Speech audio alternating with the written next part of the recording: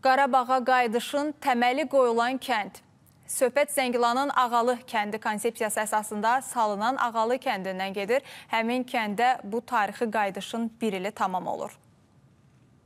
Azad edilmiş torpaqlarda e, inşa edilən birinci qəsəbədir, birinci kənddir və əlbəttə ki, bu kəndin çox böyük önəmi var. Çünki böyük qayıdış bugün başlayır.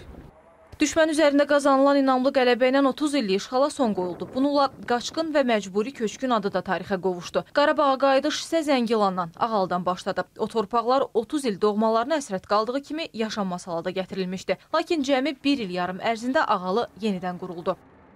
19 iyulda Azərbaycan üçün sıradan bir tarix deyil. Çünki Qarabağa qayıdış məhz ötən ilin bugünündən reallaşdırılmağa başlayıb. Ağalda innovativ tikinti materiallarından istifadə olunmaqla tam izolyasiya olunmuş 200 fərd ekoloji ev, 2 mərtəbəli 4 qeyri-yaşayış binası, 360 şagird yerli məktəb və 60 yerli uşaq bağçası tikilib. Uşaqlar gəliblər öz dədə-baba torpağına. İndi görürsünüz necə də gözəldir sizin doğma torpağınız, vətəniniz. Ağalı kəndi. Sorsam Sumqayıtdan daha gözəldir deyir bəli. Sumqayıt da gözəl şəhərdir, böyük şəhərdir, amma buranın əlbəttə ki, xüsusi gözəlliyi var.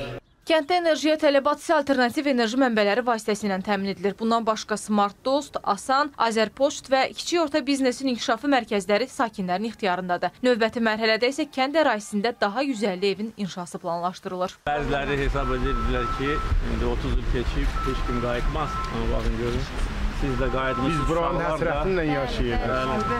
İndi buralar da əvvəlkindən də gözəl olur.